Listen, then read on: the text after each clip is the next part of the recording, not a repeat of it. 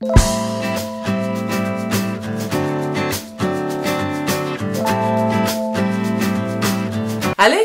liebe Bücherfreunde und herzlich willkommen bei meiner Bücherwoche.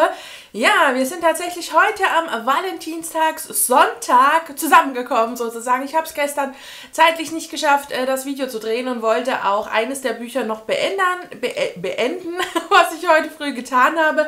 Und äh, so kann ich euch heute äh, zwei äh, Bücher vorstellen. Wir werden beginnen mit Die Traumknüpfer von Caroline Wahl, was ich in einer Leserunde gelesen habe.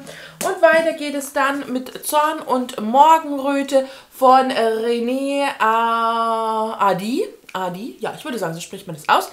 Ein Buch, was jetzt ganz aktuell diese Woche auch erschienen ist und... Ähm, ja, beide Bücher, wann ich damit loslege, findet ihr unten in der Infobox. Und äh, dann werde ich noch was von äh, dem Valentins-Special hier auf YouTube erzählen. Und ich habe dann auch noch eins meiner Mind-Magazine diese Woche gelesen. Und ich denke, wir fangen einfach erstmal an mit den Büchern, bevor dann das restliche Blabla sozusagen kommt. Und starten, wie angesprochen, mit Die Traumknüpfer von Caroline Wahl, erschienen im Heine Verlag. Kostet als äh, ja, broschierte Taschenbuchausgabe, wie auch immer man das nennen möchte, 13,99 Euro.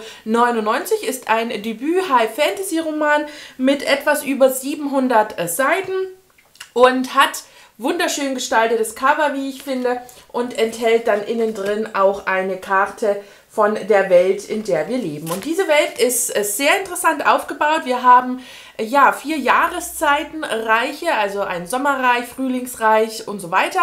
Und wir haben eben auch Herrscher in diesen Reichen. Und Sommer-Frühling wird äh, beherrscht von Frauen, von Königinnen und Herbst und Winter von Männern. Und das ist eben einfach so. Warum auch immer, das muss man dann lesen. Und diese ganze Welt entstand durch Götter, denn auch jedes Reich hat seinen speziellen äh, Gott. Und die Götter waren früher sehr präsent auf der Welt, haben dann auch mit Menschen, äh, ja, im Grunde Halbgötter gezeugt. Und äh, diese Halbgötter sind aber sehr, sehr wenige geworden. Denn die Menschen haben sich irgendwann äh, gegen die Götter mehr oder weniger gewehrt, beziehungsweise gegen die gehobene Klasse der besondereren Menschen, die eben auch besondere Gaben haben. Und äh, die Götter haben gespürt, dass das Reich, dass die Welt zerbricht. Und eine Göttin, Udina, hat, äh, ja, träumt und schläft, das schon seit Jahrhunderten. Und dieser Schlaf darf nicht unterbrochen werden, denn ihr Traum hält die Welt zusammen. Und sie knüpft sozusagen das Leben in diesem Reich, daher auch äh, der Titel. Und äh, das finde ich eine wunder, wunderschöne Idee. Also das äh, gleich vorneweg, diese Idee ist wirklich absolut gelungen, hat äh, sehr viel Spaß und sehr viel ähm, Ideenreichtum auch im Kopf bei mir im Grunde ausgelöst. Und ich finde das wirklich toll, was sich Caroline Wahl da als Grundgedanken hat äh, einfallen äh, lassen. Äh, ja, was können denn die ähm, Menschen vom verlorenen Volk, so werden sie genannt? Es gibt äh, zum Beispiel die Seelensänger, die mit ihrem Gesang Erinnerungen wieder aufleben lassen oder ja auch ein bisschen das Leben oder die Gedanken beeinflussen können. Es gibt äh, Ortswandler, hießen die so? Weltenwandler oder Wanderer, Weltenwanderer, entschuldigt. Und die können eben von Ort zu Ort an jedem beliebigen Ort reisen, wo sie schon mal waren, beziehungsweise von diesem Ort, wo sie einen Gegenstand haben. Und dann gibt es noch irgendwas Drittes. Ja, das ist natürlich äh, Traum, Traumtrinker. Die Traumtrinker waren das. Das ist auch einer unserer Protagonisten. Ein Traumtrinker, der eben ähm, ja, Macht und Magie aus den Träumen äh, anderer Menschen saugen kann und damit eben ähm, ja, das einfach sich ein bisschen stärkt und äh, ja, das im Grunde wie Nahrung sieht. Also ja, wir haben zwei mehr oder weniger Geschichtenstränge, zumindest zwei ähm, Protagonisten. Wir haben einmal Kanael, also wie man auch so sieht, wunderschöne Namen, die ich absolut gelungen finde und ich liebe das in High-Fantasy-Büchern, wenn eben auch die Namen ein bisschen außergewöhnlicher sind. Und Kanael ist der Sohn des Königs und ähm, ja, er entdeckt, dass die ähm, Amme seiner Schwester dass sie eine äh, Seelensängerin ist. Äh, seine Schwester erzählt ihm, dass er sie gesungen hat und Singen ist eben verboten in diesen Reichen. Eben genau aus diesem Grund, weil man weiß nie, wer da singt. Und in diesem Moment, wo er dann die Stimme von Wolkenlied hört, so ist der Name äh, der, der Dienerin, äh, merkt er irgendwie kommen Erinnerungen wieder. Und ihm wird schlagartig mehr oder weniger klar, dass er ein Traumtrinker ist und ähm, dass somit irgendwie auch seine Herkunft nicht ganz äh, richtig ist, denn sein Vater ist definitiv keiner vom verlorenen Volk. Denn diese Menschen erkennt man an einem Zeichen am Rücken und äh, kann die dadurch im Grunde auch wiedererkennen und äh, sich gegenseitig sozusagen auch beweisen, dass man zum ver verlorenen Volk äh, gehört und man auf der gleichen Seite steht.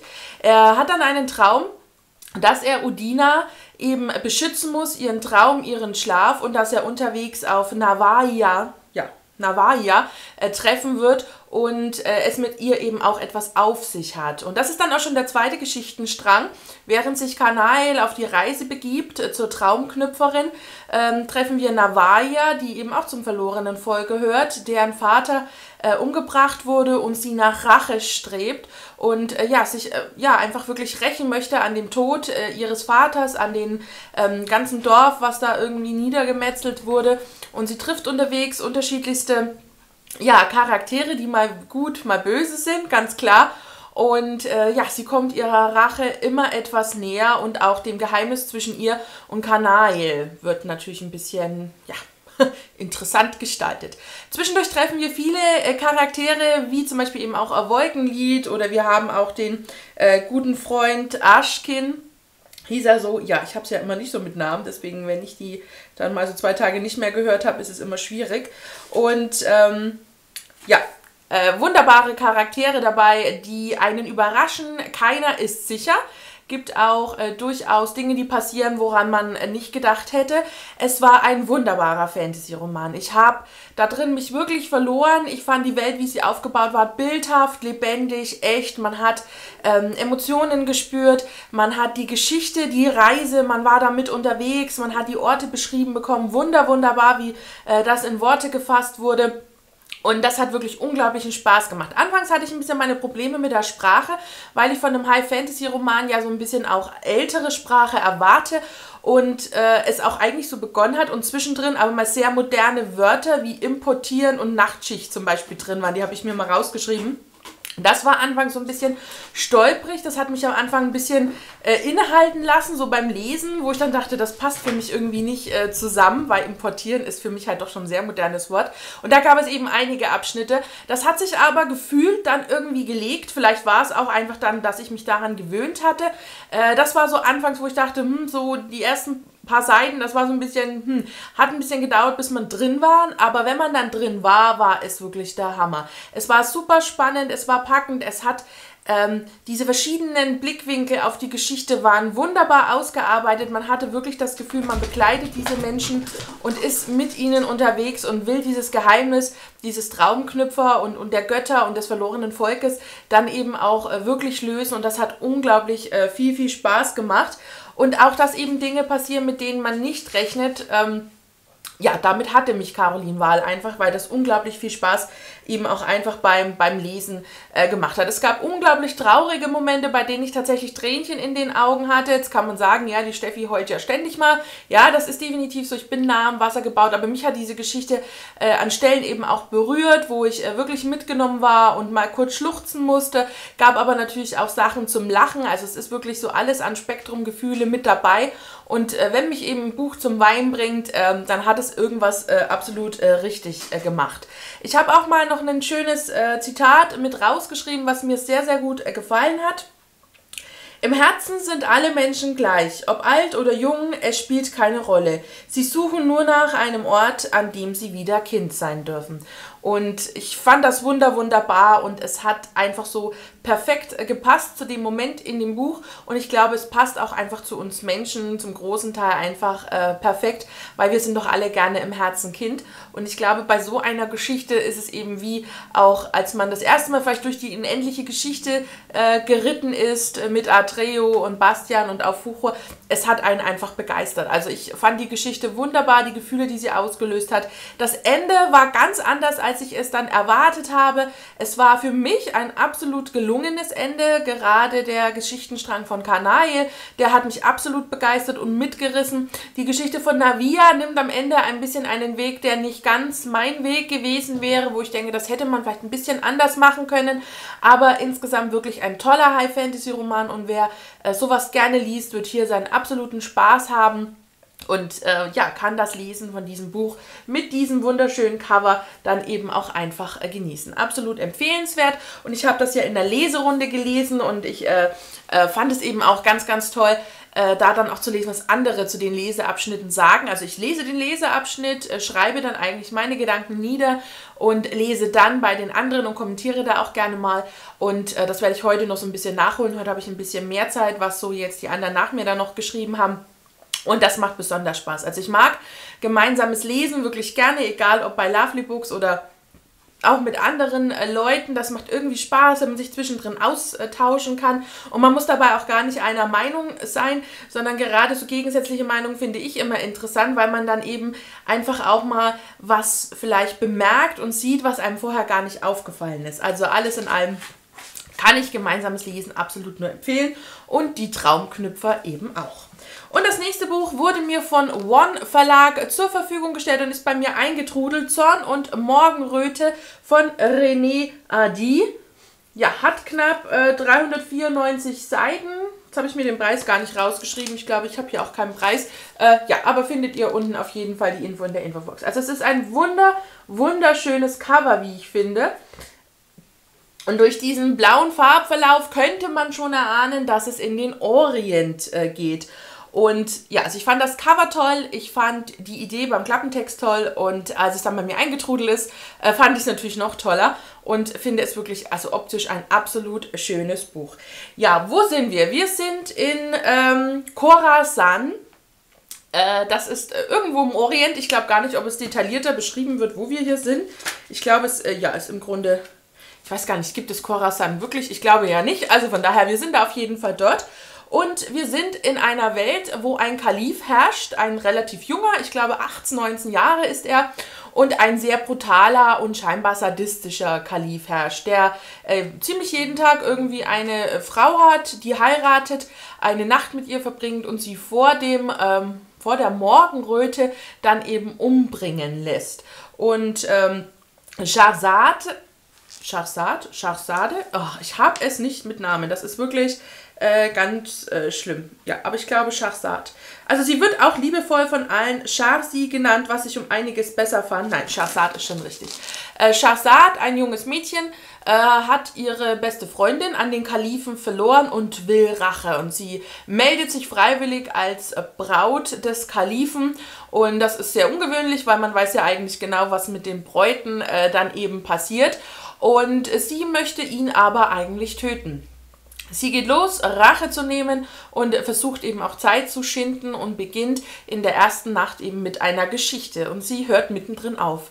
Und der Kalif ist äh, so davon ja, überrascht und auch wahrscheinlich schon so ein bisschen von der Stärke, äh, die sie ausstrahlt, dass er sie eine Nacht äh, lang leben lässt und eben in der nächsten Nacht wiederkommt und sich wieder eine Geschichte oder die weitere Geschichte erzählen lässt. Und ich hatte hier im Grunde eigentlich gehofft, dass uns viele dieser Geschichten erzählt werden aus dem Orient und äh, leider waren es, glaube ich, auch nur drei, vier Abende, an denen Shahzad Geschichten erzählt, was ich wirklich ein bisschen kurz und wenig fand, äh, was halt dann schon natürlich an tausend, also an, an Alibaba und so erinnert hat, ne? an tausend eine Nacht, wie man so als Kind gerne diese Märchen äh, gehört und gelesen hat.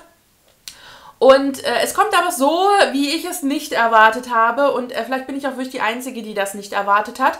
Shahzad verliebt sich in den Kalifen und hat tatsächlich Gefühle für ihn und will jetzt auch, dass er Gefühle für sie hat und spürt, dass zwischen den beiden etwas ist. Und ähm, allein, dass er sie dann eben nicht töten lässt, und äh, sie dann im Grunde auch zu beschützen versucht, zeigt, dass auch sie für ihn etwas ganz Besonderes sein muss. Und jetzt geht es dann mehr oder weniger nur noch darum, das Geheimnis herauszufinden, warum der Kalif diese Frauen vorher hat umbringen lassen, warum er sie hat töten lassen, warum er diesen sadistischen und äh, ja doch sehr unmenschlichen Ruf hat, was da dahinter steckt. Und sie möchte eben diese Tür in sein Geheimnis ähm, öffnen. Und ähm, ja, das passiert natürlich dann auch. Und ja, oder das müsst ihr dann am Ende natürlich selbst lesen.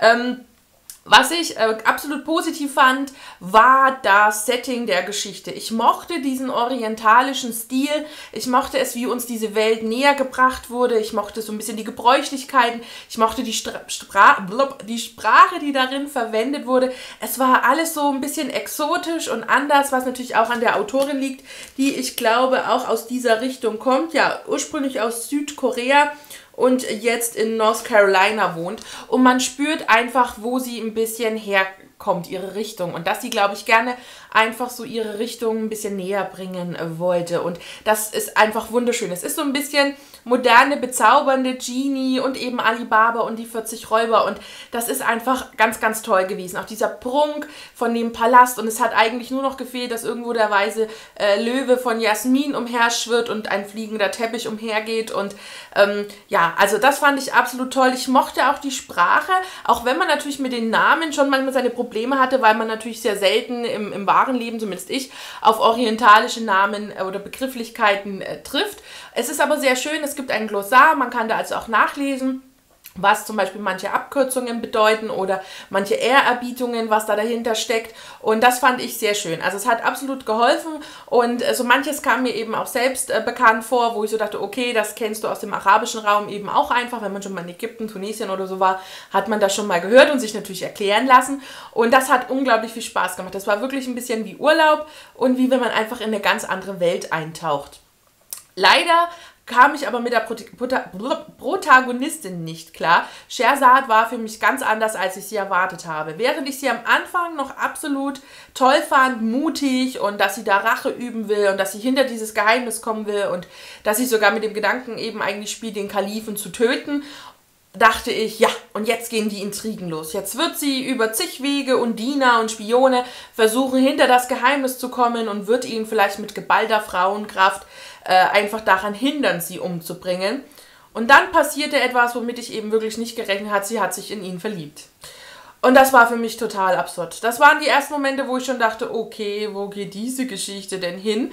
Denn es ist was anderes, jemanden vorzutäuschen, dass man ihn liebt, und um da ranzukommen, was man eben möchte, als dann wirklich äh, uns die Gefühle zu erzählen, die sie da empfindet und äh, dieses Ringen mit sich, ach eigentlich müsste ich ihn hassen, aber ich liebe ihn und ja, das war mir irgendwie zu viel des Guten. Das war so ein bisschen wie so eine Dreiecksgeschichte, entscheide ich mich für den einen oder anderen, aber halt eben ohne den dritten. Und das hat mich echt irgendwie genervt. Diese Gedankensprünge, die sie hatte, auf der einen Seite erinnert sie sich dann wieder an ihre Freundin, die wegen ihm sterben musste und dann, ach, hat er tolle Augen und nee, das hat für mich überhaupt nicht gepasst und ich hoffe, dass dieses Buch einfach keinen falschen Eindruck irgendwo hinterlässt, denn es ist absolut nicht in Ordnung, einen ähm, ja, Sadisten äh, zu lieben. Das finde ich einfach. Und es gehört auch für mich einfach nicht beschönigt. Aber vielleicht bin ich auch einfach zu erwachsen und zu alt und ähm, habe vielleicht auch einfach was anderes erwartet. Es mag absolut sein, äh, dass man davon einfach mal träumt, dass man da ein Ungeheuer hat und äh, das dann vielleicht irgendwann so ist, wie man sich vorstellt und jeder Mann ist veränderbar.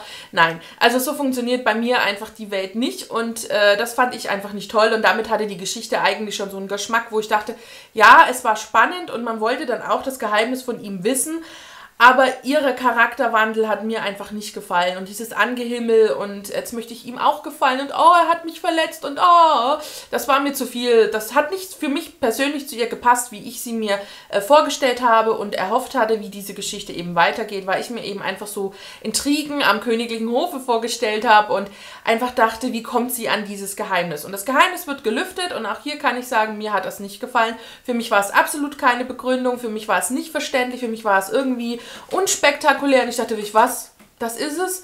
Also, ja, es ist ein relativ offenes Ende. Also es wird ja eine Fortsetzung geben. Ich weiß nicht, ob zwei oder drei Bücher geplant sind. Für mich ist es kein Buch, wo ich die Geschichte weiterlesen möchte. Mir ist es vollkommen egal, was jetzt noch passiert. Und ja, also das ist absolut, äh, ja, es war okay. Und das Setting war wirklich wunder wunderschön. Da kann man echt nichts sagen. Auch die Sprache war schön.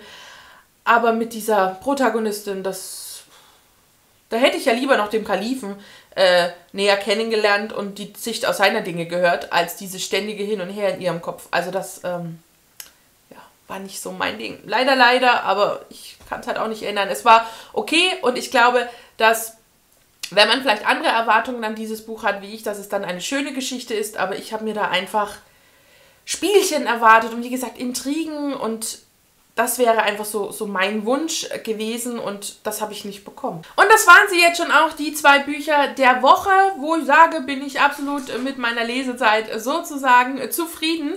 Und ab heute werde ich lesen, ich habe es jetzt leider nicht rübergelegt, Es muss wohl an dir liegen von äh, Myra McFarlane. Das werde ich zusammen mit der lieben Miriam von MJ Liest äh, lesen. Freue ich mich sehr drauf, äh, dass wir wieder was Gemeinsames gefunden haben.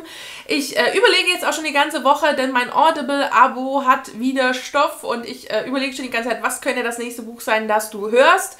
Ich habe drei, vier auf der Merkliste, kann mich aber nicht so recht entscheiden, deswegen werde ich einfach mal noch so ein bisschen warten vielleicht heute noch ein bisschen stöbern oder mal gucken, was so ein bisschen als nächstes dann ähm, ja so Neuerscheinungen vielleicht herauskommt, was mich reizt, äh, was ich äh, gerne dann hören möchte.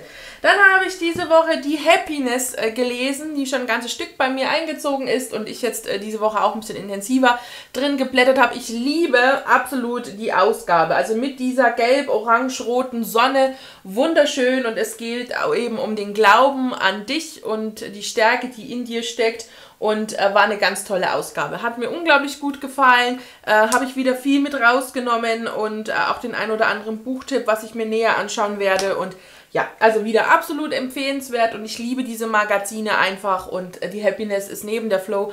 Wirklich die, die ich absolut äh, toll finde und ganz, ganz regelmäßig lese. Und äh, vielleicht mal mit dem Gedanken spielen sollte, mir da ein Abo dazu zu holen. Äh, bei der Happiness, die gibt es aktuell auch in einem Doppelpack mit einem Malbuch. Das Malbuch liegt mittlerweile an meinem äh, Schreibtisch. Äh, da möchte ich demnächst auch mal wieder eintauchen. Habe jetzt schon ein ganzes Stück nicht mehr gemalt. Finde das aber absolut entspannend und schön. Und ähm, ja, mag eben, wie gesagt, auch einfach wirklich, ach, ist das nicht schön mit der Sonne, einfach äh, toll. Dann ist ja heute äh, Valentinstag und ich bin da kein so großer Fan und bin das auch, wenn ich in Beziehungen so bin, überhaupt nicht. Und halte von diesen Kommentaren kommerziellen Tag eigentlich äh, gar nicht allzu viel. Aber es gab eine Aktion äh, von ja, von, von, von, von, von einer Gruppe, äh, wo man sich als YouTuber eben anmelden äh, konnte und wurde dann beschenkt von einem Secret Valentine, so ist auch der Hashtag der Aktion und auch man selbst hat eben jemanden beschenkt. Man hat vorher äh, erfahren, welchen YouTuber man beschenkt, konnte sozusagen auch auf den Kanal gehen, konnte sich das im Grunde anschauen, konnte ein bisschen sehen, was hat er für Vorlieben und äh, man konnte eben auch selbst angeben, was einen ein bisschen interessiert, äh, was man gut fände oder was man eben vielleicht nicht gut gefunden hätte und äh, so hat man eben von dem anderen auch erfahren, ähm, ja, was er gerne ein bisschen hätte. Und ähm, das Video von der, die ich beschenkt habe, von der Elisha Bar, kam bereits letzte Woche heraus. Äh, das verlinke ich euch einfach mal in die Infobox. Vielleicht wollt ihr mal vorbeigucken, was äh, ich so geschenkt habe. Und mein Paket habe ich dann ja auch äh, hier auf dem Kanal schon ausgepackt und zwar am Donnerstag. Da könnt ihr gerne äh, mal auch in die Infobox gucken, wenn ihr das Video noch nicht in der Abo-Liste gesehen habt. Ich habe unter anderem dieses Büchlein geschenkt bekommen, Lebe deine Träume an jedem Tag. Äh, hier kann ich schon mal sagen, dass die CD, die dabei ist, wirklich ganz, ganz toll ist. Wunderschöne Melodien, wunderschöne Eindrücke und wirklich perfekt zum Lesen. Und ich habe jetzt hier auch schon in den Zitaten gelesen und ich mag ja so Zitate und Sprüche unglaublich gerne.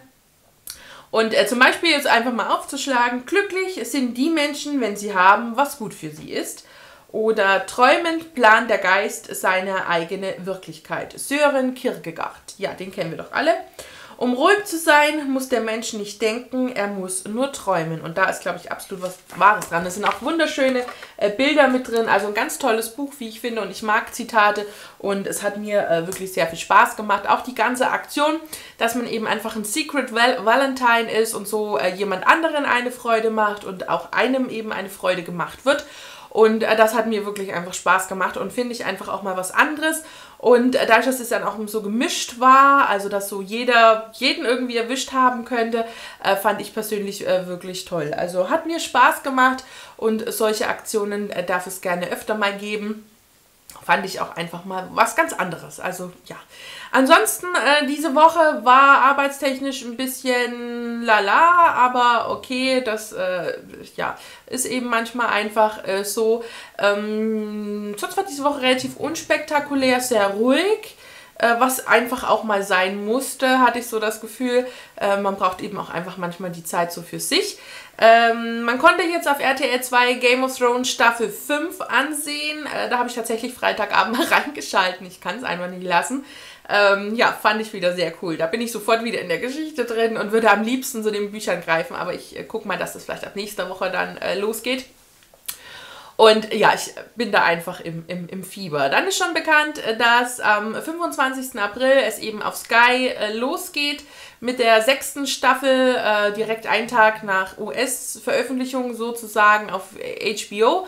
Dann gibt es für Outlander die zweite Staffel mittlerweile einen Trailer. Da hat mich die liebe Vilja draufgebracht. Trailer und Kanal von der Vilja einfach auch mal in der Infobox, wer vielleicht Lust drauf hat, mal reinzuschauen. Ähm, der Trailer, den fand ich absolut genial. Also ich habe Gänsehaut gehabt, ich war total gefesselt und dachte, boah, und jetzt liebe ich natürlich auch damit, jetzt das zweite Buch zu lesen. Das habe ich ja noch nicht gelesen. Ich habe ja von Outlander, Feuer und Stein nur den ersten Teil äh, gelesen, eben auch Ende 2014, äh, damit ich eben für die, den Serienstart 2015 bereit war und weiß halt nicht so recht, lese ich es jetzt wirklich noch vorher und äh, bin so sehr zwiegespalten mit mir, weil ich eben auch gerne einfach in der Game of Thrones Reihe äh, weiterlesen möchte und irgendwie zwei so Schinken, das ist natürlich schon, da macht man einen ganzen Monat eigentlich nichts anderes. Ich meine, es hat ja jedes Buch irgendwie knapp 1000 Seiten. Äh, da ist man ja wirklich locker drei Wochen, wenn es gut läuft, sage ich mal, beschäftigt. Oder hört man vielleicht Outlander einfach ein bisschen. Das sind aber relativ auch viele Stunden. Ich, ich weiß es ehrlich gesagt noch nicht. Vielleicht auch die gekürzte Version. Vielleicht habt ihr damit ja mit irgendwie Erfahrung, könnt mir da einen Tipp geben. Ansonsten fand ich den Trailer mega spannend und packend und auch da geht es wohl im April weiter dürfen wir uns also freuen. Der Frühling wird eben äh, ja, sehr serienfortsetzungslastig und ich freue mich da wirklich sehr, sehr drauf und äh, bin total im Fieber und ähm, ja, auch Outlander ist natürlich echt eine ganz, ganz tolle Reihe und ähm, die Idee und so, also ja, wären die Bücher vielleicht nicht ganz so dick, hätte ich sie wahrscheinlich alle schon durchgesuchtet, aber so 800, 900 Seiten, das liest man halt einfach nicht so weg, ne? Das ist was anderes wie 300 Seiten oder 400, also oh, ja, das schreckt einen halt auch mich so ein bisschen ab. Wobei, also wenn ich jetzt diese, mal gucke, diese 700 Seiten von Die Traumknüpfer, das äh, war auch irgendwie so im Nu weg. Also das hätte ich auch gar nicht gedacht. Äh, man hat da gelesen und wirklich das Gefühl gehabt, man hat 200 Seiten so im Null weggehabt. Also äh, ja, ist faszinierend, ne? Aber äh, okay, ich schweife schon wieder so aus. Ansonsten ähm, ja, gab es, wie gesagt, nichts Spektakul Spektakuläres äh, diese Woche. Ähm, Nein, ich glaube im Grunde nicht. Äh, musiktechnisch bin ich absolut auf dem Ed Sheeran-Trip. Ich habe ja das Album X, dieses grüne Album. Ist es grün? Also mit dem X von vorne drauf. Äh, und seit dem Trailer von Jojo Moyes Buchverfilmung ein ganzes halbes Jahr, wo er ja Photograph singt, äh, bin ich wieder auf dieser CD. Also ich habe die ja, glaube ich, schon ein Jahr zu Hause und äh, habe die immer wieder mal gehört und jetzt diese Woche aber wirklich, äh, wirklich auch wieder so ein bisschen, ähm, ja, egal ob dann äh, im Auto, hier, wenn ich äh, mal nicht dann irgendwie äh, Musik höre zum Lesen natürlich, äh, einfach mitgehört. Ich finde das Album wirklich toll, ist absolut empfehlenswert. Und ähm, ja, ich glaube, ja, ich glaube, das war es so im Großen und Ganzen. Ähm, jetzt haben wir tatsächlich schon Mitte Februar. Was wird euch nächste Woche erwarten? Es wird auf jeden Fall die Buchvorschau kommen, die werde ich heute noch drehen. Ähm, weil es ist ja schon wieder die vorletzte Woche des Monats. Es ist echt unglaublich, wie, also für mich persönlich wirklich wie im Winter die Zeit vergeht, kann ich auch nicht oft genug sagen. Da bin ich echt wieder immer wieder erstaunt, ähm, das find, empfinde ich im Frühling, Sommer, Herbst eigentlich nicht so. Es ist für mich wirklich so die dunkle Jahreszeit, wo sich irgendwie so ein Tag an den anderen reiht und man das Gefühl hat, man macht eigentlich nichts und trotzdem vergeht die Zeit so. Also es ist ganz komisch. Aber es ist ja nur gut, wenn die Zeit im Winter vergeht, umso eher ist Frühling und man kann wieder raus und in die Sonne und äh, freue ich mich schon. Aber heute ist ein ganz guter Tag. Ein bisschen bewölkt, aber es hat vorhin auch schon ein bisschen die Sonne geschienen. Wir haben, glaube ich, 7 Grad, also für Mitte Februar absolut in Ordnung. Dann ist es ja schon weit, so weit, dass in fünf Wochen, sind es fünf Wochen? Ja.